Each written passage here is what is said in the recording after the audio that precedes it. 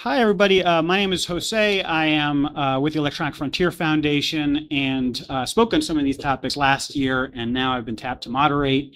Um, and so I'm uh, just by way of a little explanation, I am myself. I am uh, in the activism team. I work with local groups through the, through the Electronic Frontier uh, Alliance, which EF Georgia is a member of. And if you are in a local tech group, feel free to reach out to us. We would love to have you. Um, and I also have a long history of doing organizing around police uh, brutality issues and police abolition, including through CopWatch uh, for the last 25 years, um, off and on. And so I'm going to let the uh, rest of the panel introduce themselves and then start asking some prompting questions, and then obviously make sure that we have time for some Q&A. Um, before uh, before we get started, real quick, uh, can we get a show of hands from those who can raise their hands? Uh, how many people are from Georgia? Oh, that's great. Do we have anybody from any other parts of the country that want to shout them out? Alabama. So rep, rep the deep south. That's great. Uh, so I'll let the rest of the panel introduce themselves. First with my colleague Matthew. Uh, hi, everybody. I'm Matt Guariglia. I'm an author and activist and a senior policy analyst at the Electronic Frontier Foundation, where my specialty is police and government surveillance, uh, and often increasingly where it overlaps with private and commercial surveillance as well.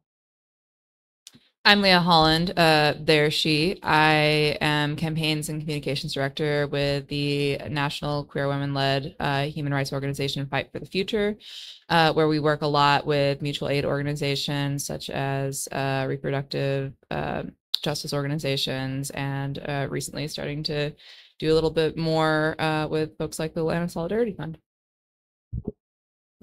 I'm Marlon Kautz. I am a grassroots uh, political organizer here in Atlanta and co-founder of the Atlanta Solidarity Fund, um, an anti-repression organization that helps bail activists out of jail and get them legal support uh, when they're brutalized by the police or faced with um, malicious prosecution. I am also one of the defendants in the sweeping RICO prosecution that's being brought against activists and organizers um, associated with the movement opposing Cop City.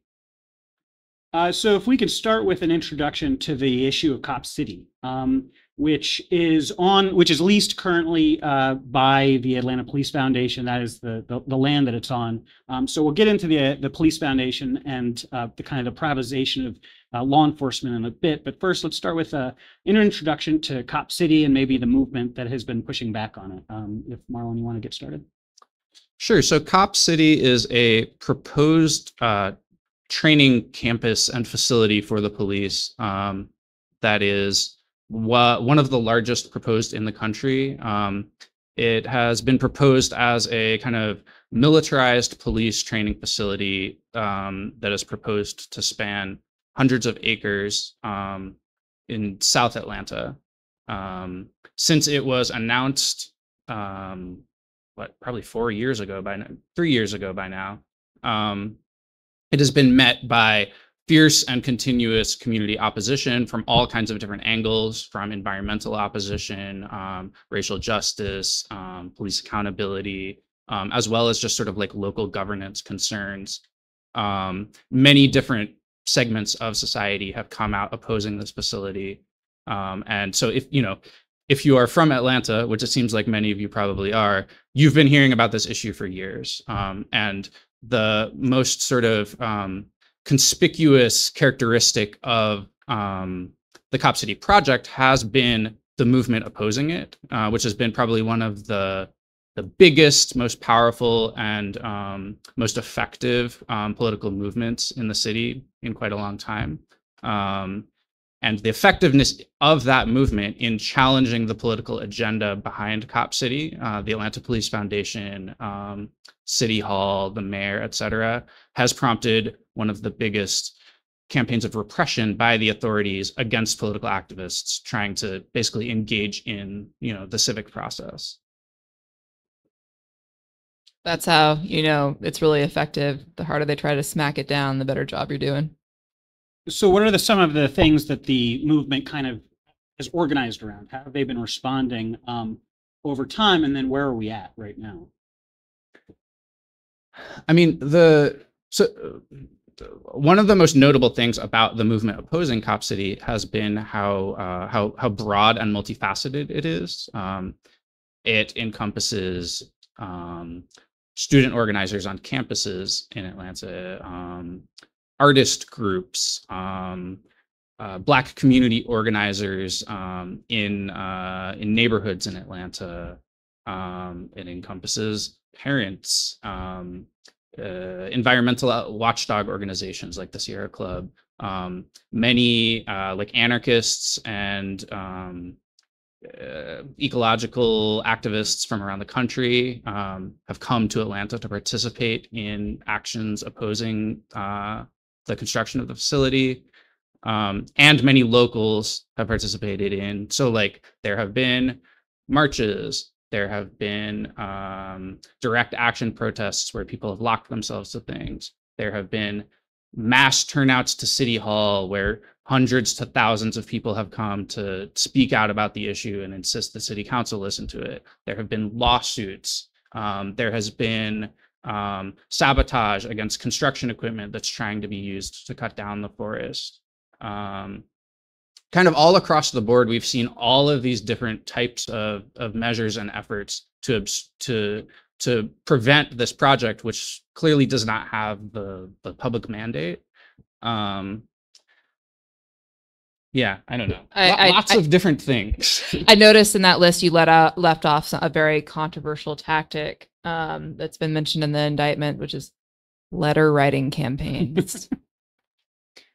Or based on what we know, the Atlanta Police Department has been surveilling uh, pizza parties as well. You want to talk about that a little bit? Yeah, so the, the the Brennan Center for Justice out of NYU Law um, filed a giant public records request with the Atlanta Police Department over internal emails regarding the suppression and surveillance of people trying to stop the construction of Cop City. And one of the things they found was um, rampant and systematic uh, social media surveillance of activists who are uh, associated with the movement, um, which is uh, unconstitutional. You cannot surveil people just because of their political beliefs. Um, there was a, a very, very famous case out of New York City in the 1970s, uh, which involved the, the what they call the Handschu Agreement. Um, and this was a, a judge found, uh, reiterated again, that police cannot surveil people purely because of their political beliefs um, and and the associated political movements they're they belong to. And so in New York, the Handschu Agreement has been this thing guiding the New York City Police Department that they cannot watch people just because of their politics. And there have been a number of times where uh, it's been discovered that they've been violating that. It's gone back to a judge, often the same judge who gave the original ruling in the 1970s, who has again reiterated and sometimes even strengthened the belief that the idea that you cannot watch people based purely on their politics. And what we saw out of the Brennan Center release of these emails is that the Atlanta Police Department has been systematically watching social media associated with the movement to stop cop city up to and including things that have nothing to do with direct action. Things with you know uh, um, door knocking and canvassing for um, trying to get a petition for for the ballot initiative as well as just like other kind of like reading groups and discussion groups about police abolition and about cop city Um, can you talk about some of the other kinds of repression, some of the criminal prosecution, some of the financial um, attacks on some of the the movement that we've seen in the last couple of years?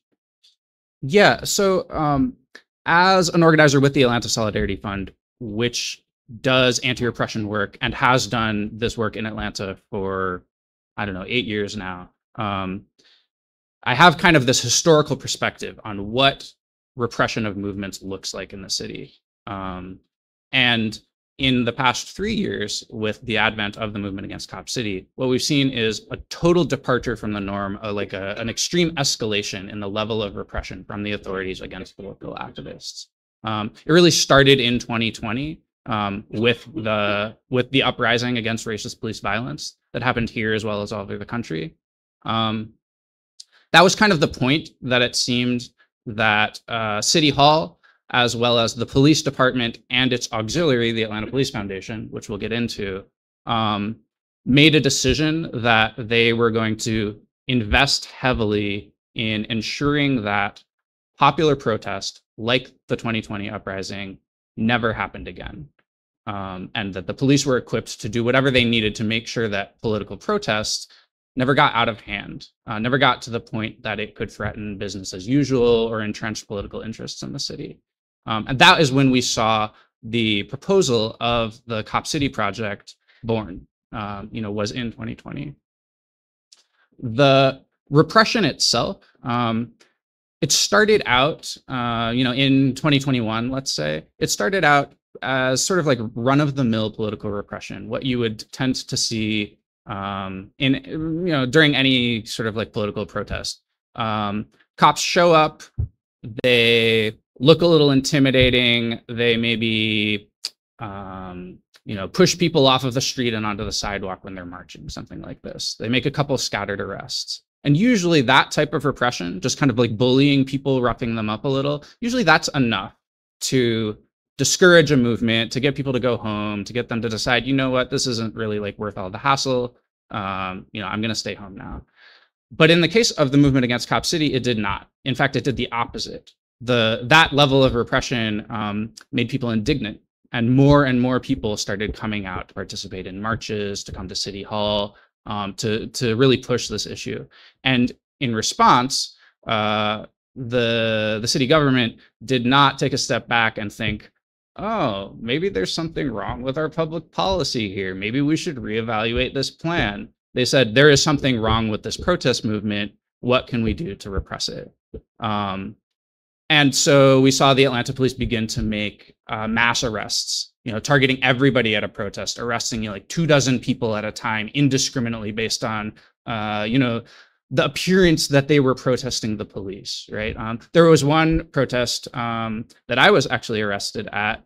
Um, I was arrested in a public park. I was charged with being a pedestrian in the roadway. And I was arrested along with, I think, 16 or 17 other people, some of whom were bystanders who had just come to the park to look at what was going on. But because of their age and maybe apparent political leanings, they were assumed to be protesters and therefore they were cuffed and taken to jail.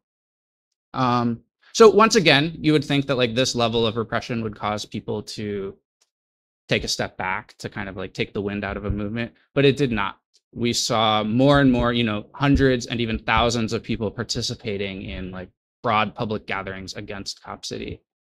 And that was the point uh, at the end of 2021 and into 2022 when we began to see the real kind of like um, bizarro level of repression, um, which was the authorities began to use domestic terrorism charges against protesters.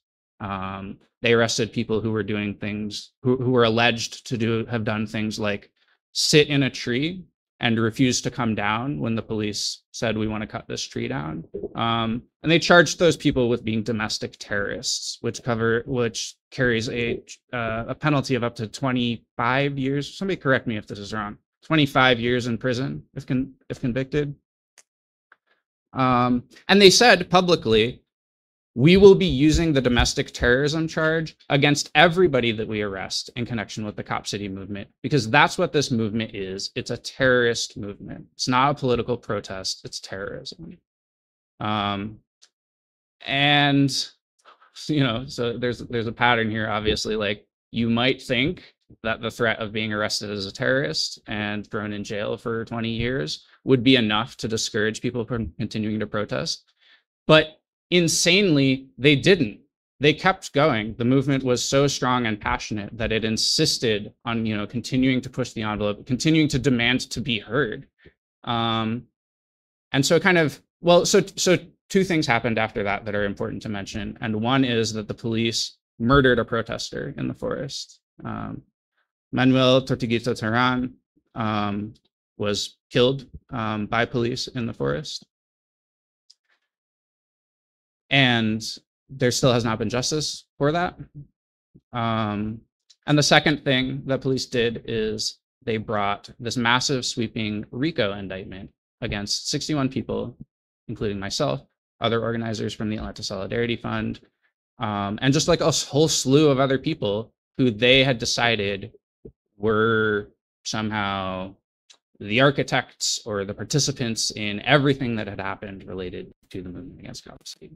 and that case is still ongoing. Um, so there's, you know, I, I can't get into a lot of details about what's going on with that. We're all trying to make sure that all of those people, you know, beat that case and don't go to prison, um, and also hold accountable the um, the authorities who are bringing it.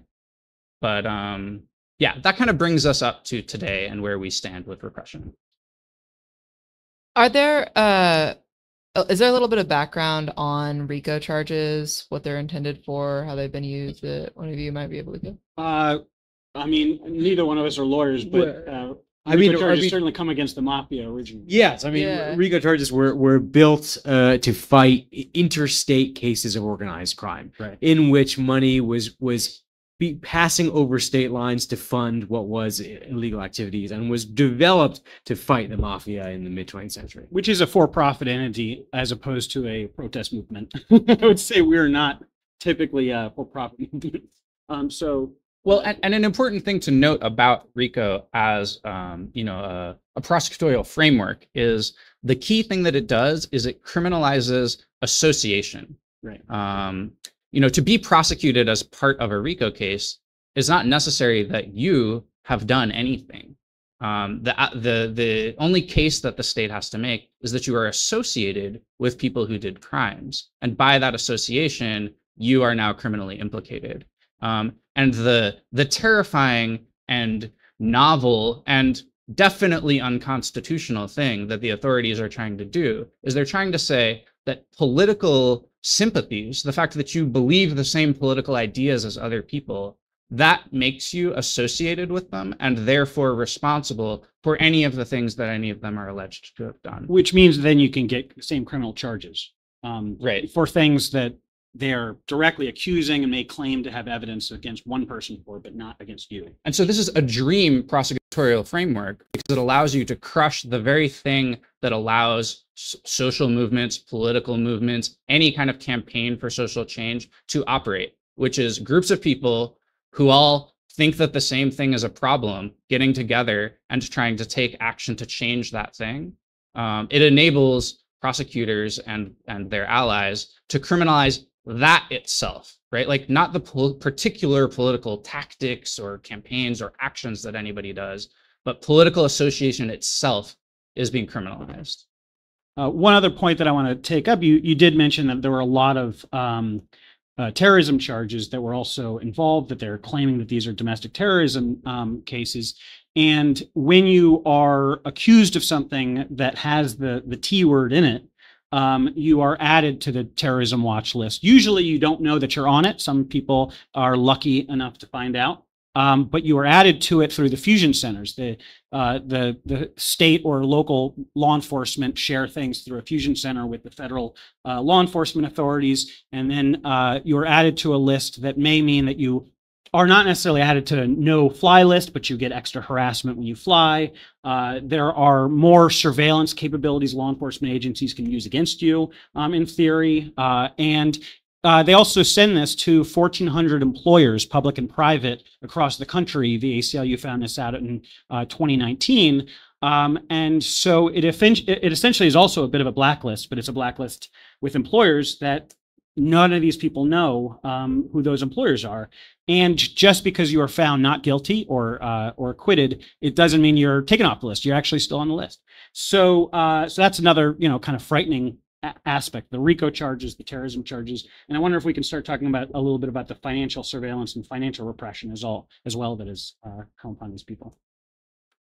Yeah, want me to do that? Um, so as uh as evidence of conspiracy in these RICO indictments, uh, one of the things that we saw is the sort of like systematic rundown of PayPal data of the reimbursement that you guys were were, were doing to to protesters or or, or or or or what have you as as a as a as a as a solidarity fund. Um, so as evidence of criminal conspiracy or what have you, they said that PayPaling somebody to reimburse them for a garden hose or for glue or for any sort of very small thing like that uh, is uh, something that evidence of a crime, which is wild.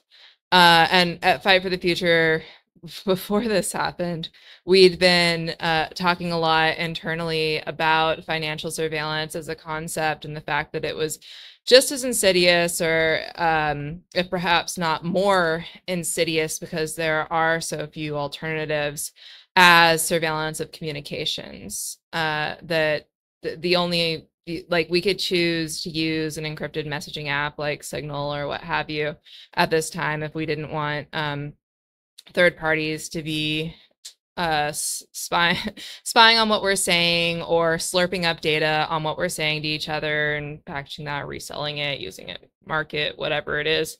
Uh but when it comes to finance and how much of our lives is uh, digital and how many of our transactions are conduct- conducted through a digital medium um you could either figure out how to use cash or you kind of have to submit to this surveillance regime which is uh, everywhere and pretty a pretty big threat to activist movements um, and, and and and solidarity funds of all kinds, whether that be a disaster relief fund that's funds get frozen because of some political disagreement or um or, or or because the person who was using the app did something that they that the, the app payment processor thought was suspicious to uh, a, a, reproductive justice organization eh, like an abortion fund or something like that sending money to um,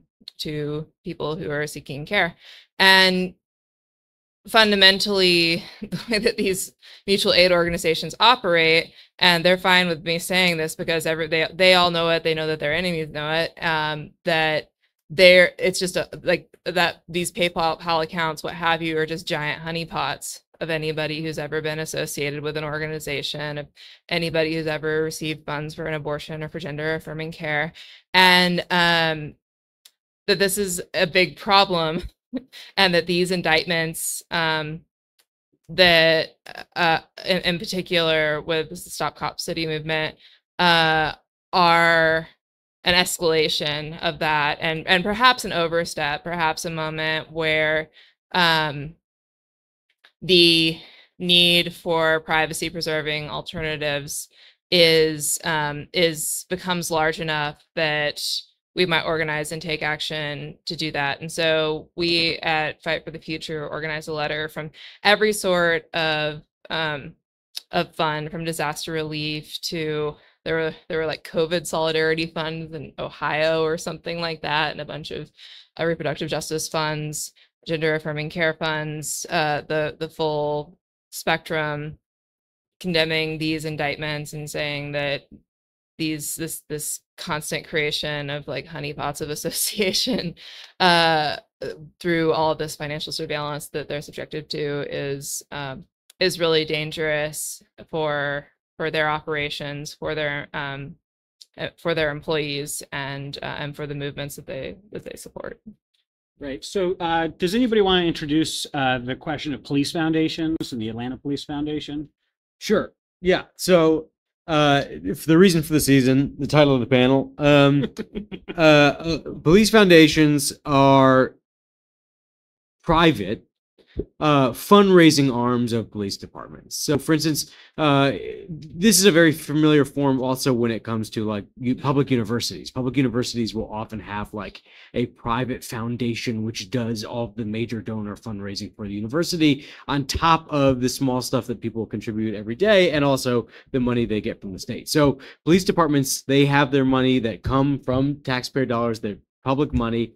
Um, there are a number of ways that police departments can get money. They can get it from private entities. We know giant corporations pay for specific surveillance equipment eh, for the LAPD. Um, we uh, know that you know federal grants and federal surveillance equipment and military equipment come from the federal government and the other way is police foundations there are they are private fundraising arms which give money to police departments. Um, they are often have a kind of like a board of, of rich people who help do that fundraising.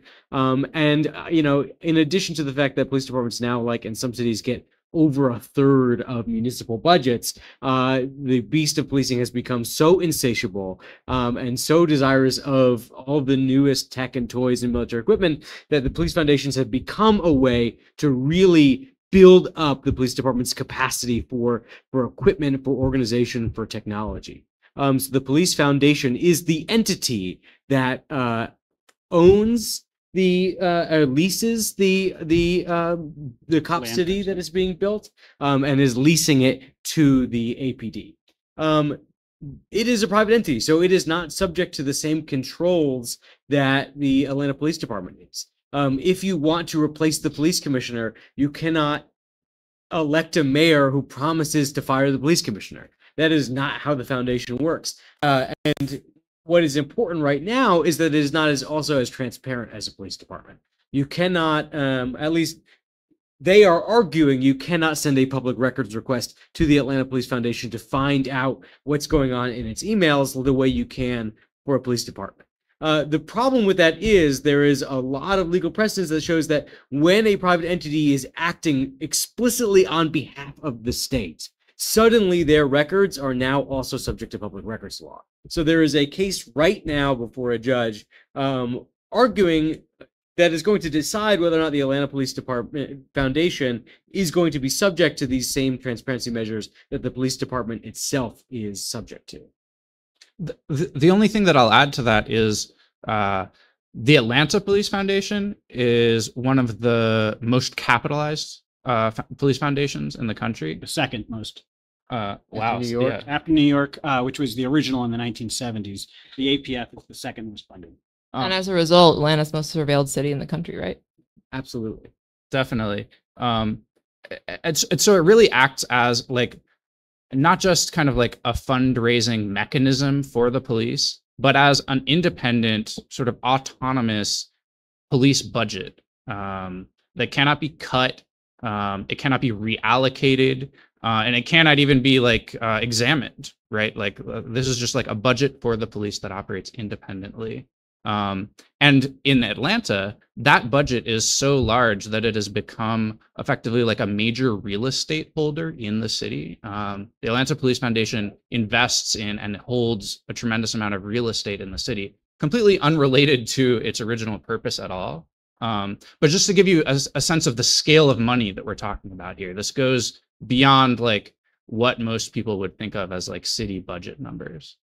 Yeah, the most recent uh, ProPublica uh, published um, tax returns for the Atlanta Police Foundation has them at uh, over uh, 31.6 million in assets. Um, just to bolster a few of those uh, remarks that people made, the board um, of uh, the Atlanta Police Foundation includes such wonderful local Atlanta citizens as Equifax, AT&T, Wells Fargo, JP Morgan Chase, Merrill Lynch, Delta, Georgia Powers, uh, UPS, Home Depot, Waffle House, and for good measure, a series of real estate firms and corporate law firms. Um, that is the board. They actually uh, formerly had the the corporate identifications of each of these um, individuals on the board uh, until June of 2020 during the George Floyd uprising, where uh, mysteriously they and the uh, board associations of a number of other police foundations suddenly vanished from their websites. They forgot about the Internet Archive. Yeah, thank you, Internet Archive. Um, and if your brain grabbed on to oh, real estate investments and oh, real realtors there on the board, that's something that that we've seen a fair amount of at Fight for the Future. We're a very staunchly anti-surveillance technology org- organization, um, and we've been lo- involved in supporting a lot of local and regional movements to push back against technologies like uh, like flock license plate readers or um, Atlanta based. Atlanta based, or uh, or Shot Spotter, which is always on microphones in neighborhoods listening for gunshots with up to an 85% error rate of gunshot detection. Uh, and uh, it, it, it it's very apparent that these technology companies, in order to sort of gain market share or legitimacy, are often coming in and donating to the police foundation so that then the police foundation can purchase the surveillance technology that they're selling it and install it in the city or try it for free or what whatever. Like there's many there's like several different tactics to get these like quite faulty technologies that are really outrageous to any sort of any sort of person who lives in citizen of those of that town uh, when when they look at how wasteful they are in terms of uh, expense, in terms of the actual like human power that it takes to respond to eight, 85% error rate of gunshot detection or or, or, or what have you but these are these are a non-transparent not publicly accountable way to get bad technology um, spying on us throughout our neighborhoods and it's uh, it's really hard to fight because it's so opaque and this is a super important trans uh, uh, connection to make because I think in many ways uh, the Atlanta Police Foundation is a symptom of a much larger problem that includes all of these technologies, which is that more and more of policing is being privatized. Whether it is uh, a company that does face recognition that spits out the name of somebody police sh- should arrest and they go do that without questioning how they arrived at that or it is a giant well-funded foundation that is hosting more and more and more um, uh, like everyday aspects of policing so that they don't have to use public money to do it so that they are less and less accountable for it. Um, there's just more and more of policing that is moving into black boxes that we have access less and less access to as people who are interested in policing work as transparency activists um, and as people who are trying to oppose a lot of the more invasive uh, methods that police are doing Uh, does anybody have any thoughts on or can explain to the to the crowd uh, Operation Shield um, and the Loudermilk Operation Shield Video Integration Center? Um, I can take that up if if, if need be, but I think it, I think you know it, it'll speak to some of this. Yeah, I mean, it, this is this is a a real time crime center, what they call. It. They are um, centers that are springing up in cities all across the United States, which is like a high tech facility where like every piece of surveillance tech uh, the the cities have access to are all being centralized. They're all coming to one massive high tech control center where they can watch all of it at once. And oftentimes this includes like not just city surveillance but private surveillance as well. So there is a Atlanta-based company called Fusus, um, which allows p- police to have access to private security cameras, including like ring doorbell cameras as well. So you you I mean, Fusus is a box you plug into a system. All the cameras on that network get sent directly to the police. Often they are being um, kind of combined at these real-time crime centers. So there's uh, both all the city surveillance, also a bunch of private surveillance, a bunch of maybe semi-public or semi-private surveillance. So like in San Francisco, there's uh, big networks of called business improvement districts, which are semi-private organizations that put up cameras that are run also through a central location that police can sometimes have access to. So they are all coming together at these real-time crime centers, and Atlanta has a big one that is also, surprise, surprise, run by the Atlanta Police Foundation. Um, so it, the place where all the surveillance in Atlanta comes together is not technically run by the Atlanta Police Department. It is run by the Atlanta Police Foundation.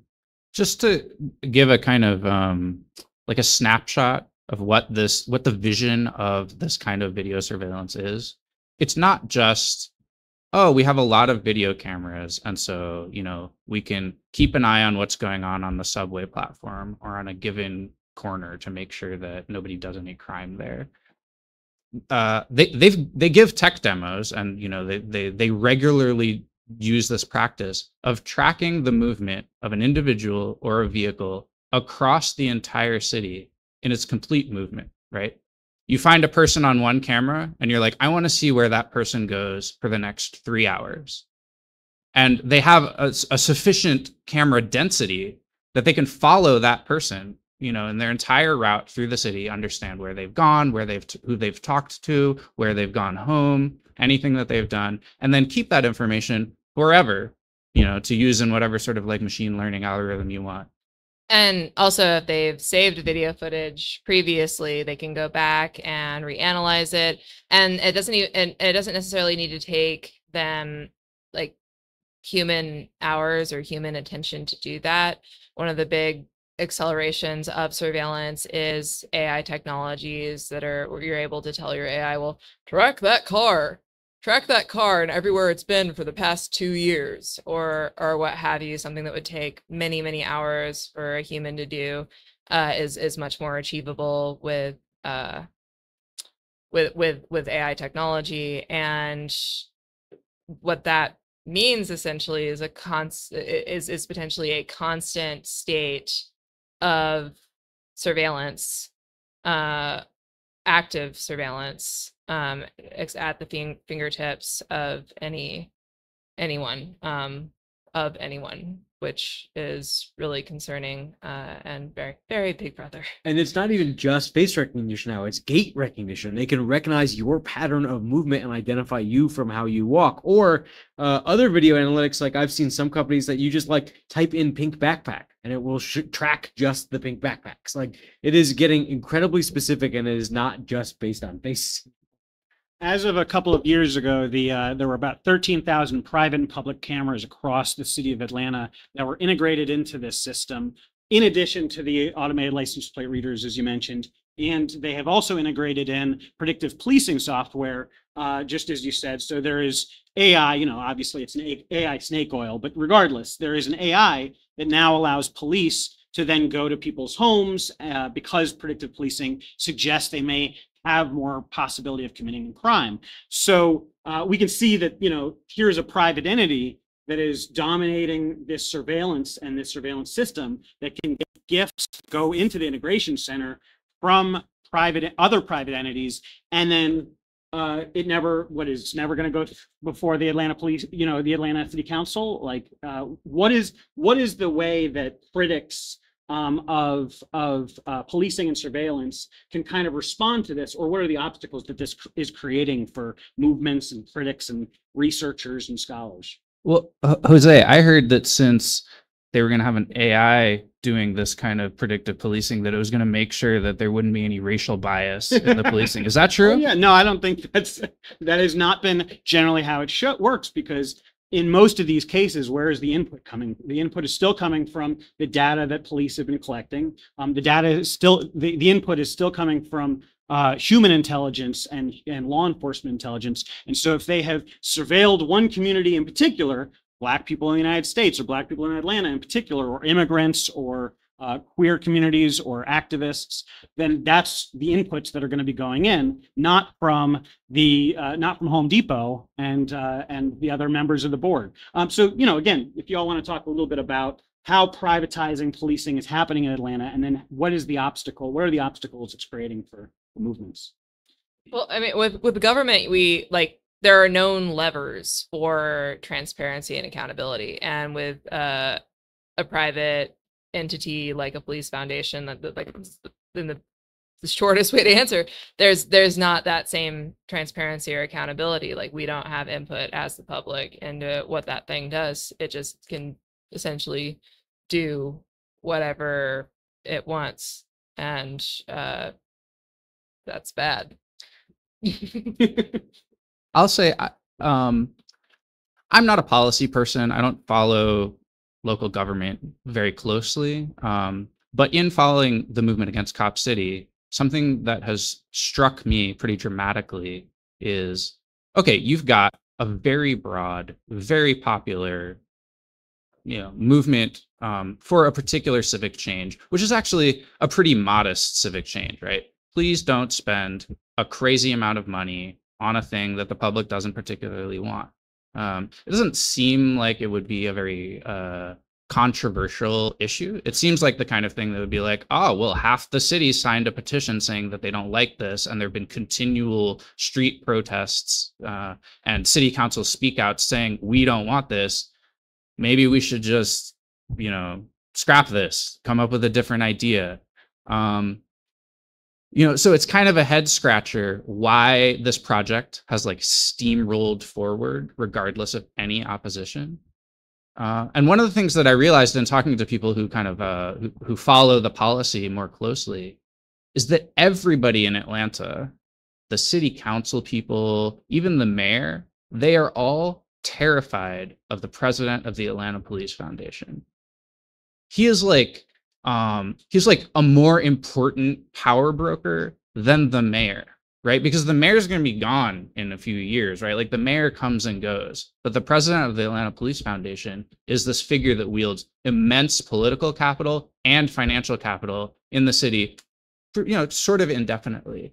Um, I don't know. That's just like weird to think about, right? Like we think about the people who are in charge of the city as like the ones who got elected from our districts, the one who, you know, won the mayoral election. But there's this like shadow figure sitting on, you know, dragon piles of money, um, who seems to like put the fear into all of them. It's just weird, right? I- mean, I think policy wise is it's it's important to think about the the hurdles that exist when police want to buy and use new technology. Because right now in Atlanta, if police wanted to spend the money to buy a new piece of tech and deploy it, there is nothing stopping them. You know, uh, even if they couldn't get the public money to do it, that's what the Atlanta Police Foundation for. They have a a, a fail safe if there's not enough public money to pay for what they want. There's no hurdles at all. In other cities, the the bare minimum of what we of uh, of what can be done is something called CCOPS, which is a, a type of policy that has been passed in cities all across the United States stands for community control over police surveillance. And what these laws do on a municipal level is when police want to buy or use a new technology, at the very least, they have to do these things. They have to take it before a democratically elected city council, and they have to vote on whether or not the police can can use and buy this technology. They need to publish a use policy. They need to say how exactly they're going to use this and when and why. And then they need to allow for a public comment period for people who are angry about this to come and voice their concern about it. And this is in many cities this where this has been passed, police still get everything they want, but there is more of those check checkpoints that they have to go through between them and buying and deploying the technology. And right now Atlanta has none of that. Um, and when we talk about how Atlanta is, you know, I would agree with the most surveilled uh, city in America because there are so many overlapping jurisdictions of private, semi-private, and public surveillance, and because there's such a big pool of money to buy this tech, I would recommend everybody goes to a resource we have at EFF called the Atlas of Surveillance, which is countless hours and hundreds of volunteers have combed through including you in the future, maybe. yeah, have combed through public records, have combed through public uh, uh, public uh, records, have news articles, press releases uh, to look at what contracts have been signed between what surveillance vendors and different cities. So you can look up your city and see what technology your police department uses. Um, and if you look at Atlanta, there is no technology that we track that Atlanta does not use. Sometimes like overlapping vendors provide the same services to Atlanta. They have multiple vendors to provide the same type of surveillance. So um, there is there's data that shows I think that Atlanta is probably the most surveilled city in America. We're coming close to time if people want to start lining up if they have any questions. Um, but uh, but I, I want to you know continue this thread. Like, what is what is the danger of increased privatization of policing? Um, and uh, you know, kind of like what lever levers of transparency do we have? Um, you know, because there's been a bit of a battle on that front. But first, I'll let Oh, I was going to ask for levers of transparency. I was going to ask uh, ask you all maybe to expound a bit on how who who's moving for more accountability here and how. One of the uh, one of the groups uh, is Lucy Parsons Labs, a Chicago-based uh, nonprofit that is also a member of the Electronic Frontier Alliance, um, which has attempted to sue the uh, the Atlanta Police Foundation, saying that the activities that they do that are for public entities, the police department, collecting data um, on on uh, local Atlantans and then funneling that straight to the Atlanta Police Department or holding the lease on Cop City uh, should be things that are then subject to public records requests. I don't know if we have any updates um, on that or if you want to talk a little bit about that. I, I think currently they're in discovery right now for this case. So this is a case that will determine whether or not the Atlanta Police Foundation is subject to public records requests. So that is ongoing. It is actively happening. And I think right now they're at the at the point of discovery. So we will find out probably hopefully in the next few months. So what's the what are the threats um, to people besides the fact that we can't always we don't have transparency um, and can't push back on surveillance technologies? What is the threat of privatization of police and why is it you know, kind of ramping up right now? Um, I think the threat is less accountability and it's ramping up because people want accountability. there's a there's a bit of a, a of an Ouroboros there where where we are um, becoming more aware as a populace of these surveillance uh, of these surveillance technologies of police misconduct and of um, of our the erosion of our rights to privacy um, and we don't like it very much. And and and, and these these foundations while they've been around for a long time and sort of the the the, the grease on the wheel of of of power of direct confrontational power and how it's deployed in cities for longer than we've really been becoming aware of surveillance tech uh it, it's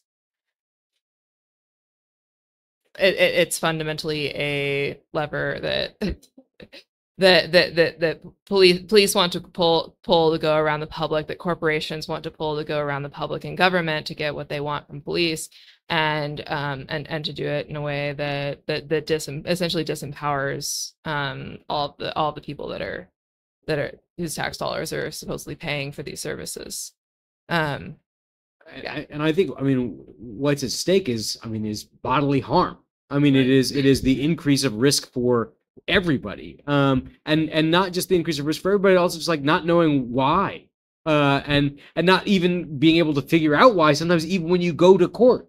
So I mean, we've seen cases where you know, uh, ShotSpotter has given a ping uh, that a gunshot has gone off. Police have shown up to a scene expecting a gunfight, which means they have guns drawn. Everybody at that scene is at risk. Um, they've they've you know made arrests. They've pulled people out of their cars, and and in court, when you try to figure out, well, how did this happen? Why? How did I ended up being the person pulled out of my car at gunpoint? Um, they defer to a company that is private and is under no obligation to tell anybody. And even in cases where courts have said, like, this is part of a court case, you, this is like legal discovery, you have to submit documents for this court case.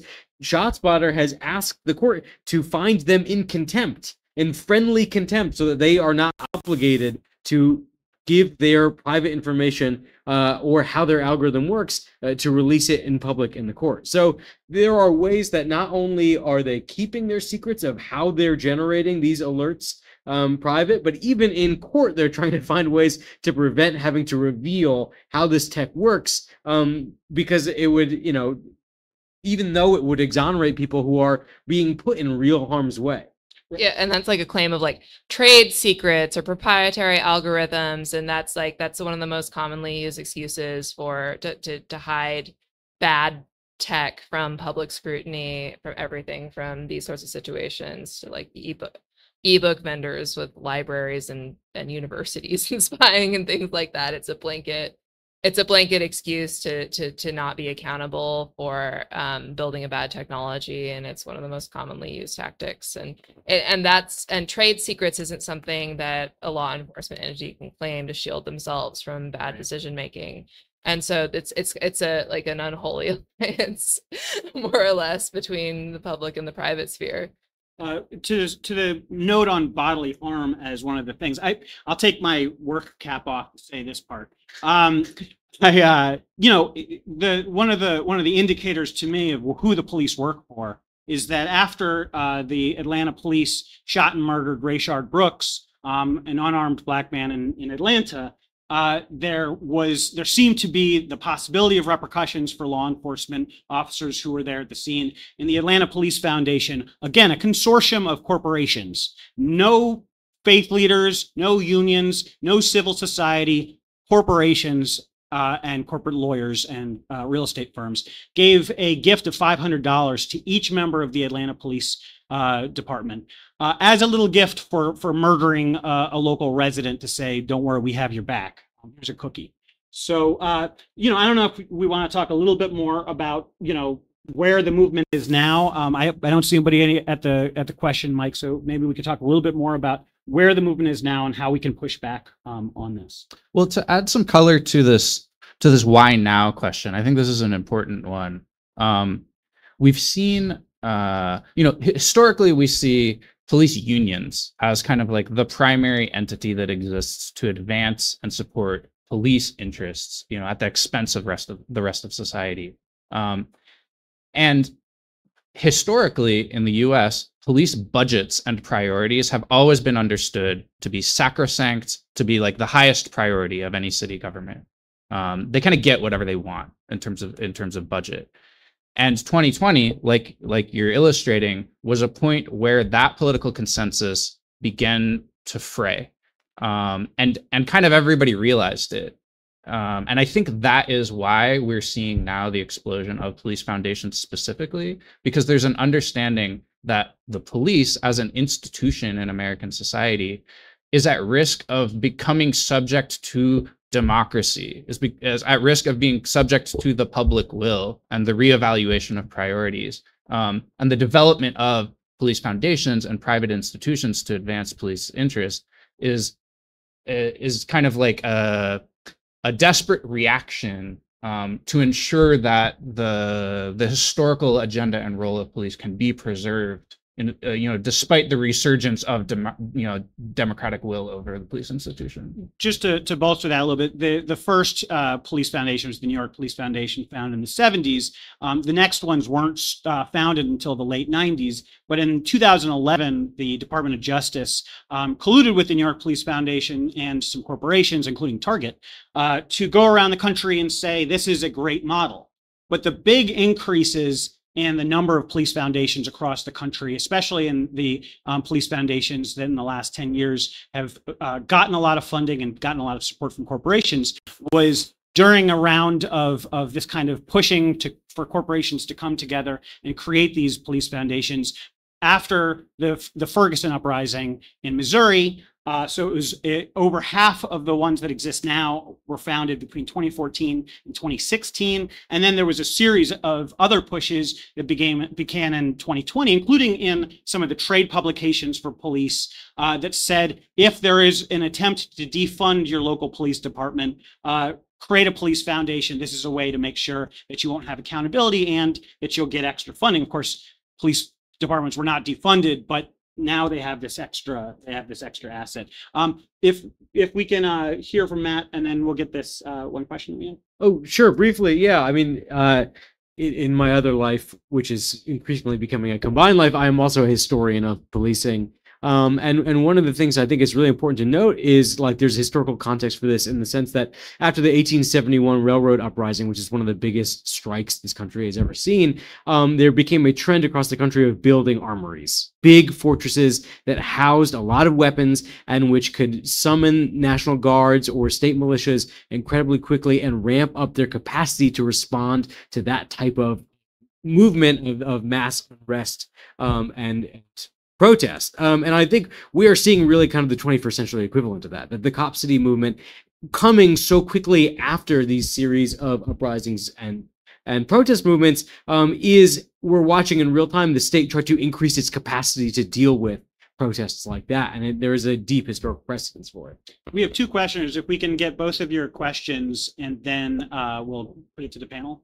Yeah a couple things. Is there um it sounds like some of these technologies kind of have dubious uh dubious value to the police and both the public.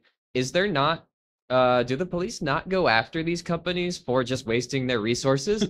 I mean i feel like there's an incentive on their end like if they keep getting false calls for the shot calls right or whatever uh that they would go after them. That's number one. Yeah. Number two is um do we have any like model cities domestically in the US that have like a really great police accountability system and that are safe?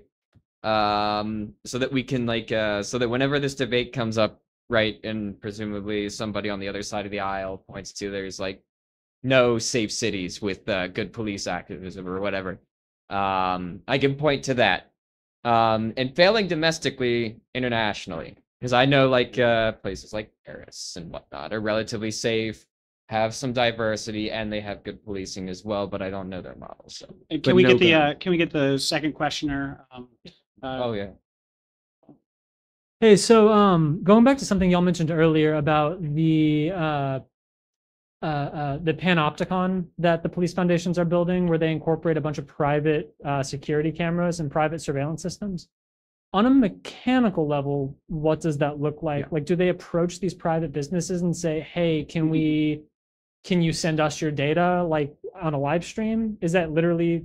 Oh, okay. Cool. Yes, I mean that's Oh, literally how this technology works. Fusus is is they approach them with a box and they say, "Can we plug this into your router?" and it will forward us all the footage from your private camera network. Yes. Yeah, and also with Amazon, um, there was like was was a big like police partnership with like I think it was over two thousand different police departments across the U.S. where they were uh, the police had a special like plug-in to the neighbors app so that they could request footage and um and and and various ways to to gain access to doorbell cameras regardless of the cons- often regardless of the consent of the person who installed the camera And, and in some cities, they give a discount or free rings to people who put them up if the police department gets to pick where it's facing for the first two years.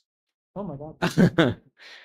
Uh, Good d- time. Can, can we answer, uh, we've yeah. got one minute left Yep. if we want to talk Yep. about the Uh, model cities and, and False what do we do about the. yeah, I mean the the answer is that city. What happens is police departments cancel these contracts all the time, and we just don't hear about it as much. Right. So there are like I don't know how many cities have paid for ShotSpotter and then canceled it because they're like there are so many false cars it doesn't really work. But the problem why they cling to it is because of the security theater. Is because people say we are afraid of gun violence. What do you do? And they can say, well, there's nothing we can really do about gun violence. But what we can do is we spend a lot of money. We put up these microphones everywhere, and we're being proactive. Look at us. We're doing something.